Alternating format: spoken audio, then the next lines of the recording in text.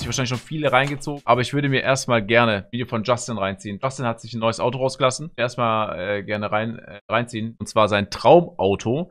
Äh, wir schauen doch mal einfach gerne rein. Ich muss es nicht großartig spannend machen. Ihr seht schon im Titel. Ich äh, habe mir mein Traumauto gekauft. Es ist wirklich. Ich muss jetzt hier schon mal pausieren. So wie die Inneneinrichtung aussieht, sitzt er in einem Tesla, kann es sein, in einem Model X vielleicht. Sieht auf jeden Fall wild aus. Ja, ist einer? Irgendein Homie von Justin einfach ein Tesla Model X. Model 3? Ach so, okay. Aber Model X wäre wahrscheinlich hier noch mehr, oder? Trotzdem nice. Also ich würde gerne mal in dem Tesla mal mitfahren. Ich bin so aufgeregt wie noch nie. Meine Hände schwitzen und ich, ich weiß nicht. Äh, Kein ja, wie ich da gleich drauf reagieren werde. Ähm, Seit acht ja, Monaten. die Schlauen unter euch haben äh, gesehen, vielleicht auf mobile.de, ich habe meinen McLaren abgegeben, weil man kann ihn im Winter nicht fahren. Auf mobile.de. Und das ist wirklich ein unfassbar geiles Auto gewesen. Wenn ich irgendwann mal wieder einen Sportwagen hole, wird es bestimmt wieder einer sein. Aber wir sind jetzt hier gerade, kannst du gerne mal zeigen. Ist kein Tesla. Ey, der, wo auch immer das im Chat geschrieben hat, der kann sich direkt löschen gehen. Für was schon soll sonst hier das T auf dem Lenkrad stehen? Woher jetzt? Ihr seht schon das fette BMW-Logo. Und äh, für was ich mich jetzt hier entschieden habe, werdet ihr gleich sehen. Leute, es war ein unfassbar krasses Jahr. Ich werde, also ich wünsche mir, äh, dass ihr vielleicht am, am Ende des Videos noch äh, meinen paar Worten lauscht. Äh, aber jetzt geht's erstmal zum Auto. Ich zeige euch das, was ich mir hier geholt habe. Peso hat derbe den Erfolg und äh, die sind mit allem ausverkauft gegangen, recht schnell. Also war derbe erfolgreich und unabhängig von Peso darf man ja auch nicht vergessen, dass Justin so noch äh, einen YouTube-Kanal betreibt. Stellenweise hat er drei Kanäle betrieben plus Twitch, dann noch Instagram-Kooperation, äh, wo, wodurch er auch Schuhe bekommt oder keine Ahnung was für Wertgegenstände. Also ähm, auf jeden Fall äh, nice. Und ich bin wirklich unfassbar aufgeregt. Also stellt euch vor, wie aufgeregt ich bei der McLaren-Abholung war. Jetzt mal 30. Das ist wirklich crazy. Ja. Ich habe äh, natürlich äh, Jonah wieder am Start, äh, der das Ganze hier filmt mit äh, Technik-Like. Ne, ist ja der Kanal. Und ähm, wenn die beiden äh, vorbeikommen, dann wisst ihr, es, es werden schwere Geschütze aufgefahren hier. Und äh, natürlich mein Bro Mo, der mich hier auch emotional nochmal begleitet. Und dann würde ich sagen, ja, sehen wir nochmal. uns, lieber, reingehen. Wild. Danke für deinen tollen Content. Mach weiter so Kuss, Kuss, Kuss, Rautiker MDD. Oha. Soul to Mr. Justin Fuchs. Digga, auf richtig seriös angelehnt. Holy shit. Nicht schlecht. Der Moment der Wahrheit. Ich äh, Ja. bin bereit, ja. Wunderbar. Also ich bin der Friedrich, hi. Wir sind hier bei Rolls-Royce in Köln. Und ähm, wie man vielleicht schon erkannt hat im Hintergrund, haben wir hier Justins neues Auto, einen äh, Rolls-Royce Raid. Ja, sp- speziell nach deinen Wünschen Ja, äh, gemacht, wie du es haben wolltest. vielen, vielen Dank. Ich hoffe und denke auch, dass wir alles getroffen haben, wie du es haben möchtest. Ich bin sehr gespannt. Ich habe kein äh, Bild vorher bekommen, kein Video gesehen und so. Also das ist jetzt wirklich auch meine erste Reaktion darauf. Ich bin super aufgeregt. dir auch, was, was du dazu sagst. ja. Dann let's go.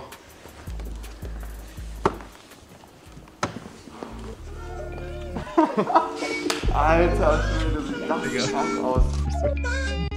Oder sieht, der Wagen sieht aus wie aus einem Musikvideo.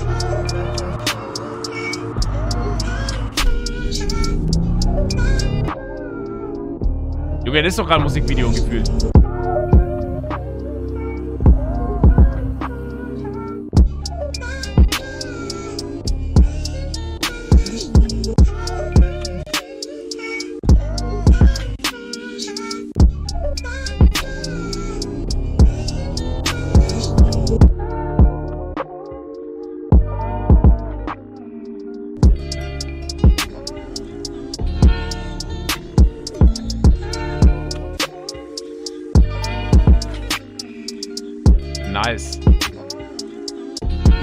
Nice, Alter. Wie nennt man das immer? Suicide Doors oder so? Damals bei Need for Speed immer reingemacht, sobald man das konnte. Sieht anders, äh, sieht anders heftig aus. Ich glaube, wenn man so mal davor steht und das erste Mal realisiert, dass die Tür einfach falsch rum aufgeht, auch, also auch heftiger Moment wahrscheinlich. Nice.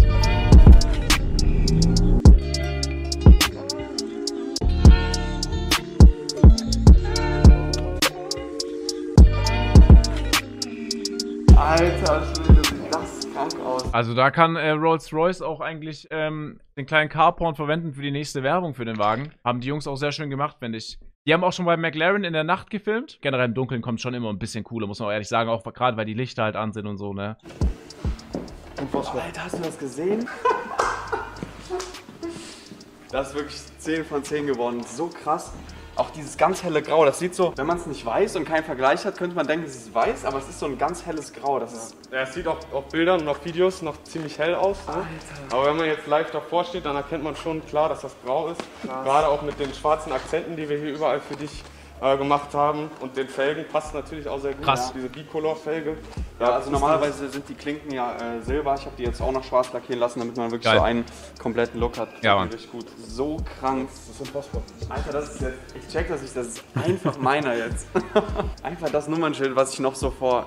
Als ich 18 geworden bin, frisch auf meinem Fiesta. Ja, das Nummernschild. Wir haben jetzt nicht viele Autoabholungen angeschaut, glaube ich, aber das sage ich bei jedem. Ich hoffe einfach, dass niemand Auge macht, wenn er mal den Wagen sieht, geparkt am Straßenrand. Ich weiß nicht, wie oft es bei Justin vorkommt. Ich kann mir vorstellen, dass es nicht so oft vorkommt, dass niemand Auge macht und mal, ihr wisst schon, so, es gibt Leute, die gönnen einfach nicht. Ich, ich verstehe das einfach nicht, dass Menschen da einfach bewusst von anderen was kaputt machen, Digga. Das habe ich noch nie verstanden. Dass ich das jetzt auf so einem Auto singe, das ist wirklich. Bro, ich check das gar nicht. Das ist echt surreal. Das ist komplett surreal. Geil. Allein die Türe so rum aufzumachen, das ist wirklich unfassbar. Ich bin wirklich sprachlos. Der Sternenhimmel auch sehr schön. Wirklich sehr geil. Äh, was auch Marcel bei sich im Schlafzimmer hat, hat Justin in seinem Auto. Die Jungs Justin Monte einfach so jetzt. Soundtest. Alter, was? Das hätte ich nicht gedacht.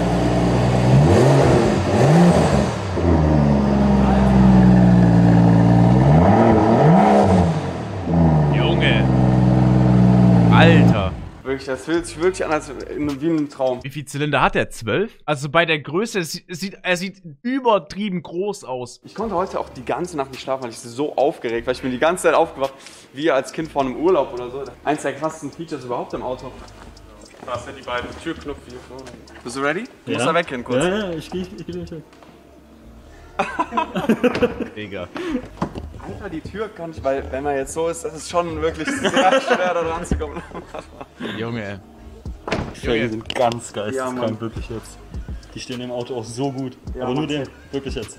Ey, und Dings, wenn die Reifen sich drehen, ja. dreht sich das hier nicht, ne? Vorraum ist ganz natürlich auch Lol. Ah ja. Hier siehst du jetzt noch die Originalfarbe, ne? aber das ist jetzt kein großer Kontrast auch. Ja, ja, das ist schlimm. Krass. Ey, der, allein das da drin ist so ein, wie so ein Teppich, Bro. Also so, Hier so kannst du drin schlafen. sich manche Autos im Innenraum. Ja, das ist gemütlicher als sonst Autos im No Innenraum. front. Ja, Leute, ich nehme an, das war ein geisteskrank. Oh, ich will noch ein bisschen das Interieur sehen. Ich will noch wissen, was für eine Musikanlage und so drin ist. Ich will es irgendwie alles wissen. Oder ich, ich wäre so gerne jetzt gerade in diesem Auto einfach wieder hinten sitzen, nach vorne gucken und alles abchecken. Ich glaube, dieses Auto kann einfach so viel. Der einfach um fucking Rolls Royce. Wir haben zwar immer noch denselben Tag, also ich habe das Ergebnis noch nicht gesehen, aber ich kann mir vorstellen, also ich verlasse mich immer auf Jonah und äh, sein Team, das wird wahrscheinlich komplett geistkrank. Allein wenn ich mir hier reinziehe, wie das hier alles gerade rüberkommt, das ist, es ist so surreal, Leute. Ich äh, weiß, ich weiß gar nicht, was ich sagen soll. Also ich sitze jetzt hier einfach in Der Wagen ist so verrückt, Mann.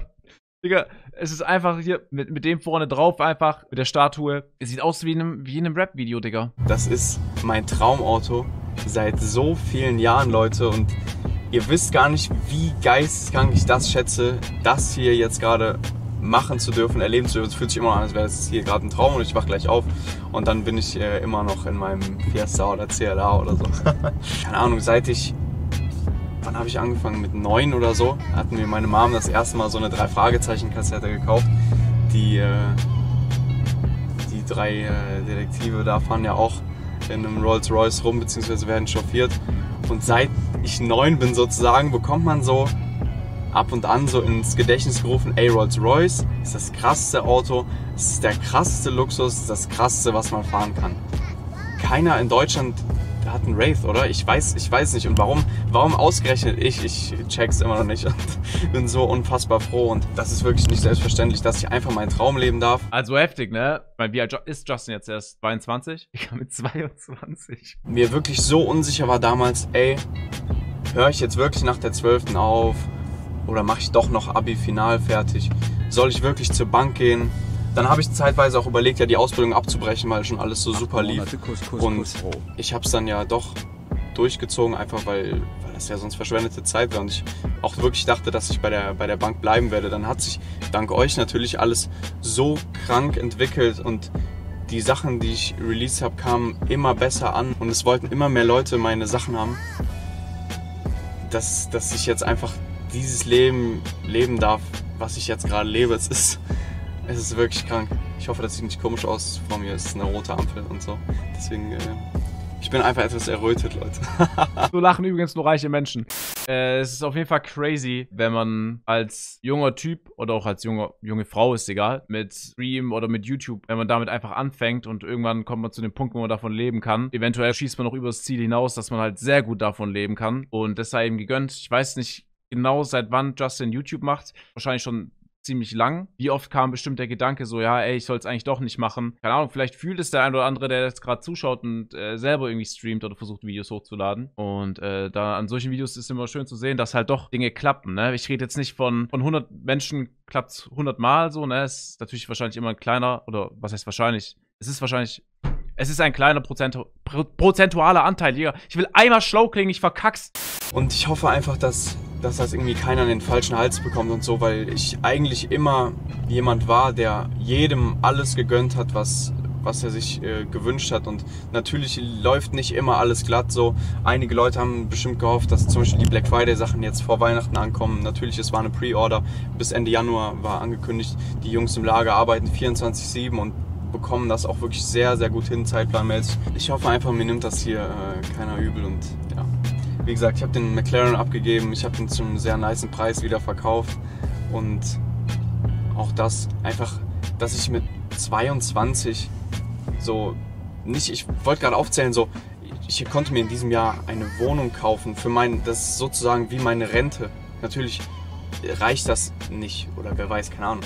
Aber ich habe die Wohnung gekauft, ich habe mir dieses Auto gekauft.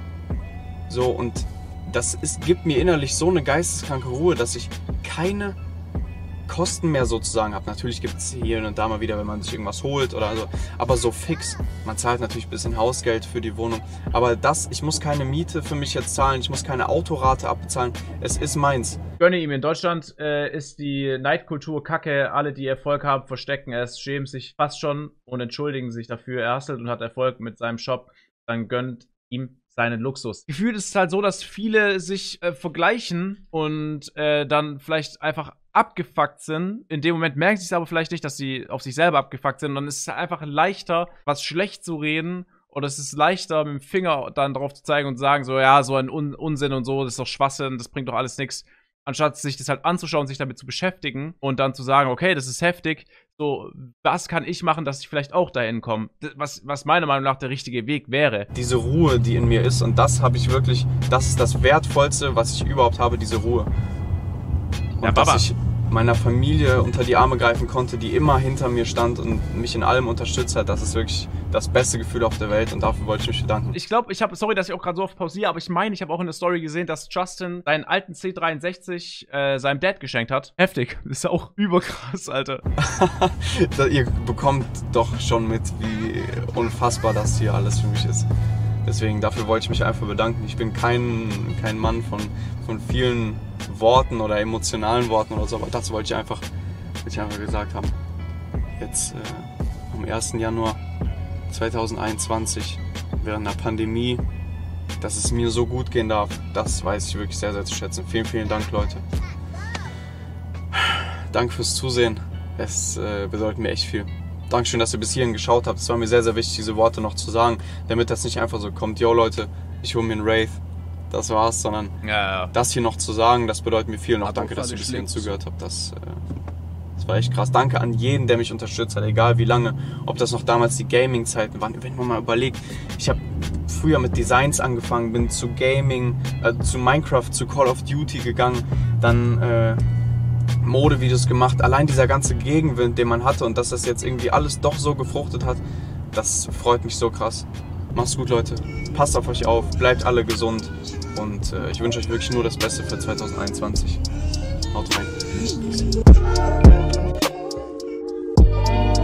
Ja, was soll ich sagen? Äh, absolut heftiger Wagen. Äh, schöner äh, Real Talk noch äh, zum Ende hin, um vielleicht ein paar Leute abzuholen, was eigentlich abgeht. Äh, hätte ich auch so gemacht. Also, so einen Wagen zu präsentieren, ohne irgendwie noch so Gedanken auf korrekt von sich zu äußern, wäre auf jeden Fall schwierig gewesen. Finde ich ein cooler Move. Äh, der Wagen Boah. sieht von außen heftig aus. Ich hätte gern noch mehr von innen gesehen. Ich hätte gern so gehört, was für eine Musikanlage drin ist. Weil sowas ist ja auch ultra nice, wenn man eine geile Musikanlage drin hat. Was ein Jahr 2020. Herzlichen Glückwunsch an Justin. Sein Traumauto sieht Baba aus. Sieht einfach anders aus, ne? Ich glaube, wenn man den Wagen auf der Straße sieht, es wirkt schon sehr heftig. Da sieht's wirklich sehr geil aus. Hier auch die schwarzen Akzente. Hier wahrscheinlich auch, oder heißt wahrscheinlich schwarze Auspuffblende. Hier der Griff in schwarz. Sehr wild. Vor allem, wenn man halt junge Leute äh, in so krassen Autos sieht, dann ist es immer sehr inspirierend so und keine Ahnung, motiviert einen, pusht einen selber gefühlt. Wisst ihr, was ich meine?